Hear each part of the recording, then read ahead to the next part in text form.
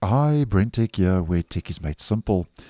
So, throughout the course of last year in 2023, as I posted quite in depth, Google rolled out the visual redesign changes and material You design changes, which they termed Chrome Refresh 2023, where the menus were updated. We got layout changes, button and icon changes, more padding, more rounded corners, and so on uh, in Google Chrome for desktop. And I'll leave a playlist in the end screen for Chrome Refresh 2023 if you would like some more info. Now, we already found ourselves in May of 2024, and it seems though that Google still has not finished rolling out Chrome Refresh 2023 design changes to the browser. Because if we head over to Chromium Gerrit, here we can see this patch. It says Chrome Refresh 2023, and it lists as use medium weight font instead of bold for menus. And this has already um, uh, begun being tested in Chrome Canary 126, this medium weight font. And in Chrome Canary, which is an early preview version, if I head to my main menu, also known as the three dotted menu, this is the new medium weight font. So it's not that bold and has a more of a subtle appearance.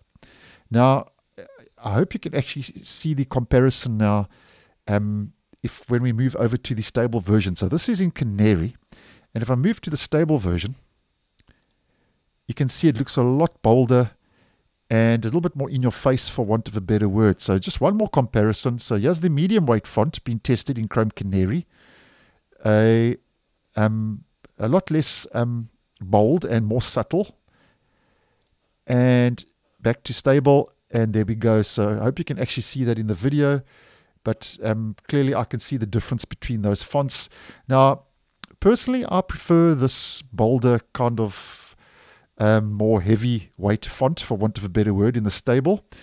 Um, I think maybe with this, it might be a problem for people and users who maybe um, are battling with their eyesight, as an example or are users with accessibility issues and so on. But nonetheless, um, putting it out there, this is, believe it or not, still a feature that Google is working on regarding Chrome refresh. And we already found ourselves moving almost into the middle of 2024. So I thought that, and we're done with Chrome refresh, but nonetheless, that medium weight font now is starting to be starting to be tested in Chrome Canary.